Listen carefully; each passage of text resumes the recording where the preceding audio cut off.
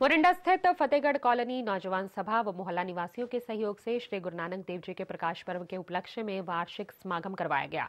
इस मौके पर तीन दिन से चल रहे श्री अखंड पाठ साहिब जी के भोग के उपरांत रागी जत्थों, भाई चरणजीत सिंह, अमरीक वालिया ने गुरुबानी का पाठ कर उपस्थित संगत को गुरु चरणों से जोड़ा।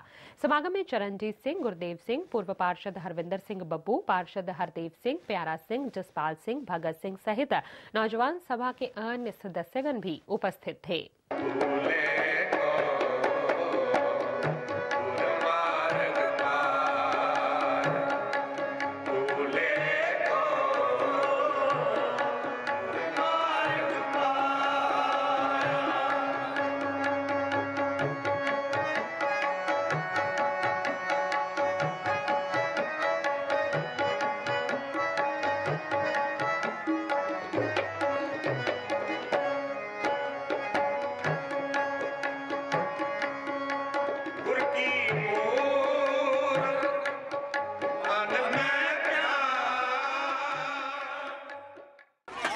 ਸਤਿਗੁਰੂ ਧੰਨ ਗੁਰੂ ਗੁਰੂ ਨਾਨਕ ਪਾਤਸ਼ਾਹ ਜੀ ਦੇ ਪ੍ਰਕਾਸ਼ ਦਿਵਸ ਨੂੰ ਮੁੱਖ ਰੱਖਦੇ ਫਤਿਹ ਨਗਰ ਕਲੋਨੀ ਵਿਖੇ ਪਹੁੰਚੇ ਹਾਂ, ਜਿੱਥੇ ਕਿ ਸੰਗਤਾਂ ਨੇ ਬਹੁਤ ਉਤਸ਼ਾਹ ਤੇ ਪ੍ਰੇਮ ਦੇ ਨਾਲ ਧੰਨ ਗੁਰੂ ਗੁਰੂ ਨਾਨਕ ਪਾਤਸ਼ਾਹ ਜੀ ਦਾ ਜਨਮ ਦਿਹਾੜਾ ਪ੍ਰਕਾਸ਼ ਦਿਵਸ ਮਨਾਇਆ ਅਤੇ ਜੀਵਨ ਦੇ ਅੰਦਰ ਉਹ ਦਾਤ ਜਿਹੜੀ ਕਿ ਸਤਿਗੁਰੂ ਨਾਨਕ ਪ੍ਰਗਟਿਆ, ਮਿੱਟੀ, ਧੁੰਦ, ਜਗ ਚਾਨਣ ਹੋਆ ਨੂੰ ਪ੍ਰਾਪਤ ਕੀਤਾ।